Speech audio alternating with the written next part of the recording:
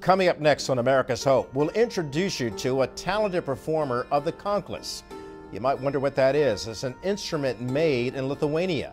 We'll show you how she is now accomplishing her American dream.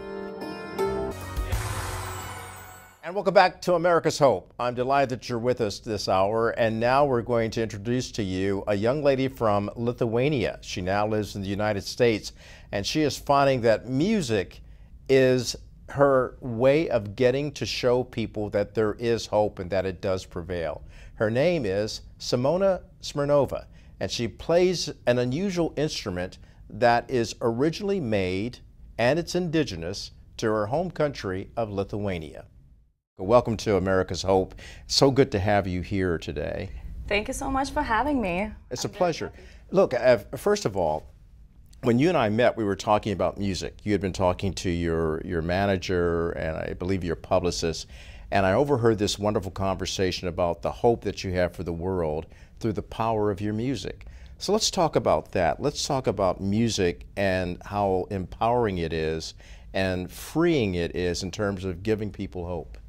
Yes, well, music is an amazing tool to spread um, the message of joy, of hope, of happiness, uh, maybe even problematic message or something like that. We all listen to music, right? We sit in the taxi, we hear music, we listen to it at home, we have it as a background music. Sometimes we go to the shows, we have attentive listening when we're listening to an orchestra or we're in a jazz club.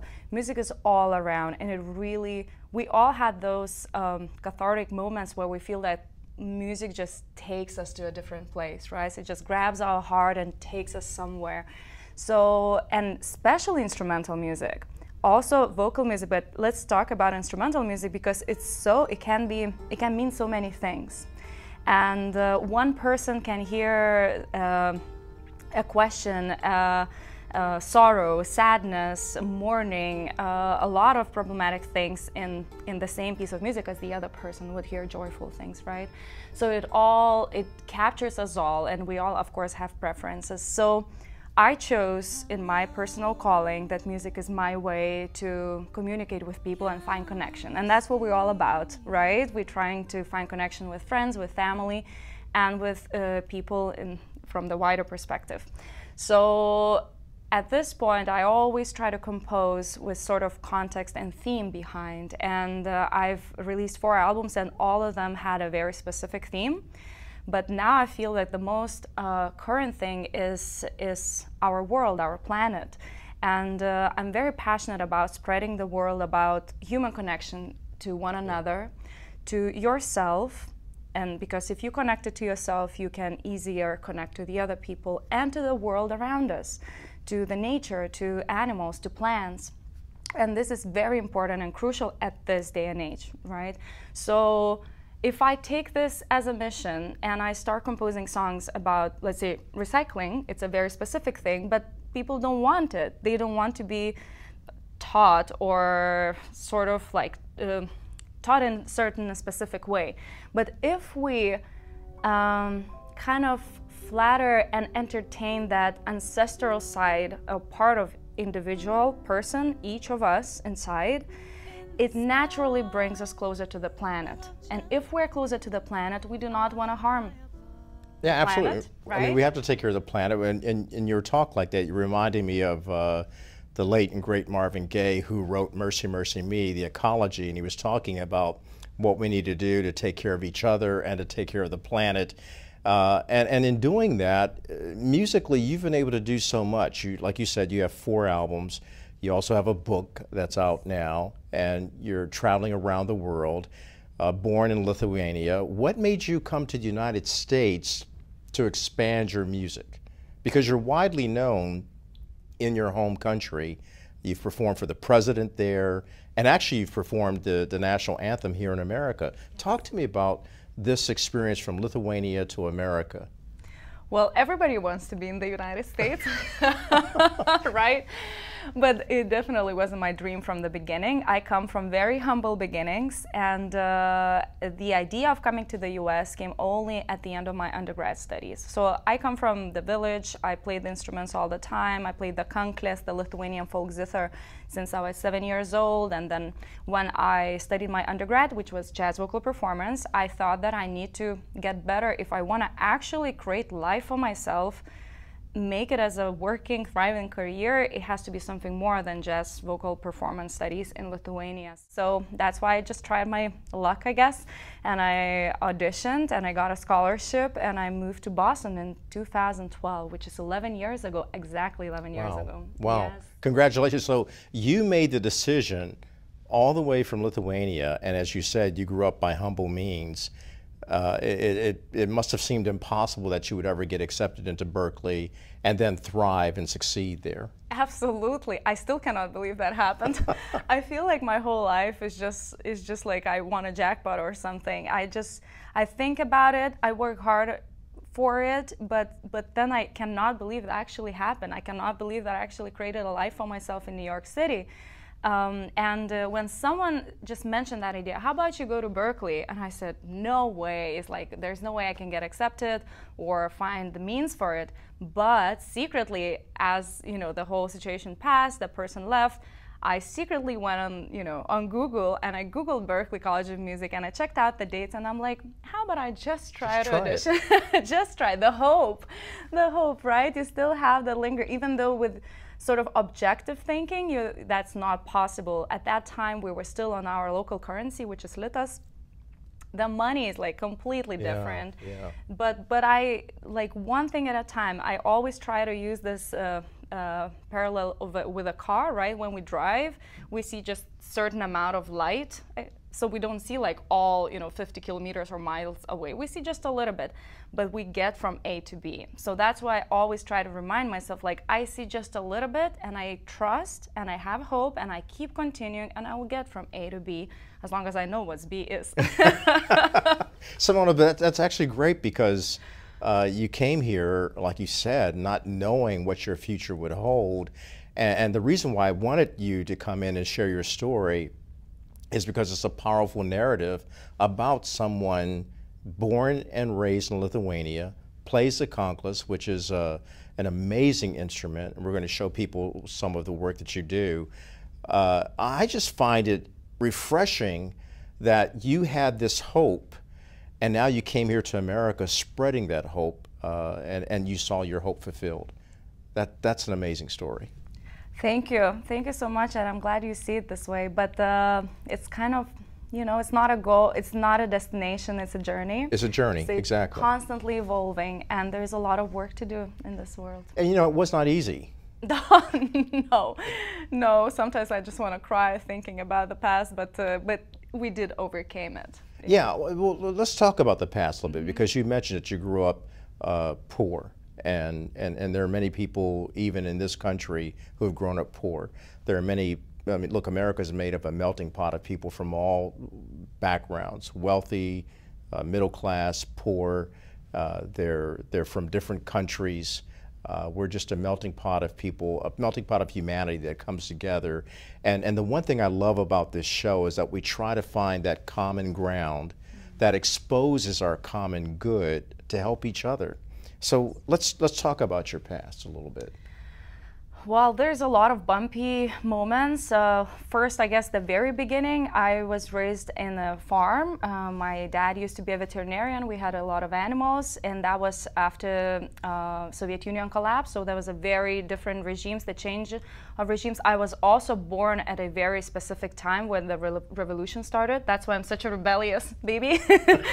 and for people who are from the Baltic states, they might be familiar with that term. It's when we went out to the streets and to the highways and we sang. We didn't have weapons. We sang for our freedom, right? And that Okay, was, that's that's amazing. That's why I wanted you to share this story. Yeah. So I didn't mean to interrupt, but let's let's look at that for a moment.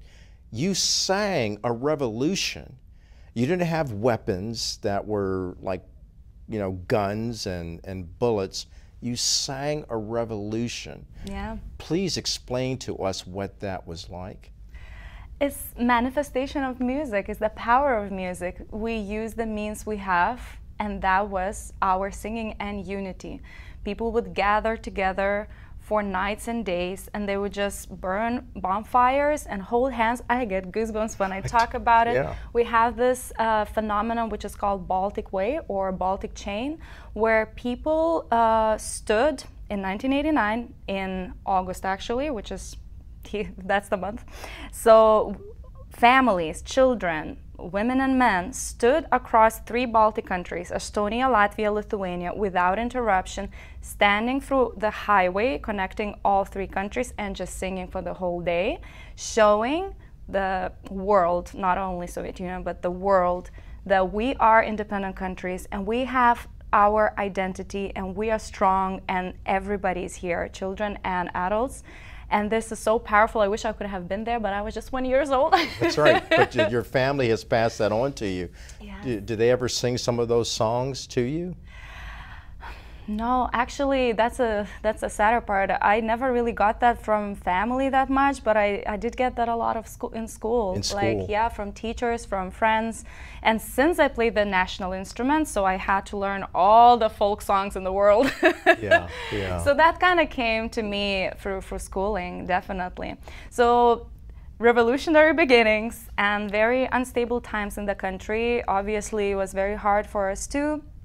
And then we pretty much lacked all the time. Then mom raised us two by herself, and uh, and we liked every single thing. I honestly, when I think about it, it's kind of uh, funny but not funny that my first album is called The Hunger Artist. But when I think of a hunger, actually, I think that from the beginning until like 18 i was actually constantly hungry all the time. It was like a mm. normal state to me. Mm. And i remember all these moments where you are being isolated like you play with the kids on the playground and at certain time at 6 p.m everybody got called by their parents to eat dinner but i wasn't called right? And now i mm. can say it with a light heart because you know i've done my work.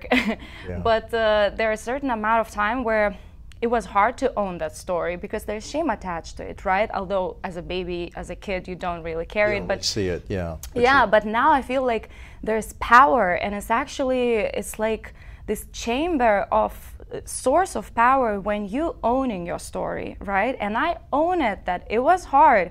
I was left alone. All the kids going for dinner, I'm not going for dinner. All the kids going for field trips, Mona is not going to field trips. But I found my way of being resilient even as a kid, and I found my outlet, which is also music and arts, which I loved, and it kept me really focused and it created a life for me. So it was hard from the beginning, and when I moved to the US, it was even harder. yeah, yeah. even yeah. harder. So there's a lot of uh, stories, you know, of like not having phone for half a year. One time I came to the class. This one, everybody loves the stories when um, my shoes started breaking on the way to the class. wow. But breaking this that way that you know you you really can't walk. So I'm like, okay, what's my options? Option one, go to the uh, students' activity center or sort of like a mm, office and tape it. Two, go home. Three, go barefoot. so I'm like, well, how about taping it? so I go and I tape those shoes and I go, and specifically the day the class was in circle and everybody's sitting and I'm with the taped shoes and I'm so embarrassed. And This is the- at Berklee? this was at Berklee. In Boston.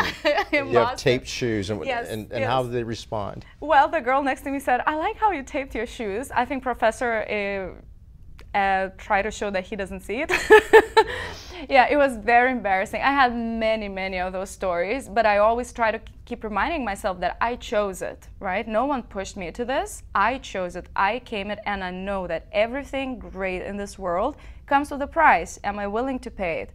I am willing to pay it. And it was very hard. First three years, it was really hard, but then it got better, and now it's really good. now. That's fantastic. We're going to take a slight break. I'm talking to Simona Smirnova of Lithuania, and just an incredible story of her resiliency as well as her uh, ability to turn pain into power. And when we come back, we'll talk more about her passion for music and the wonderful instrument that she plays. That's next on America's Hope.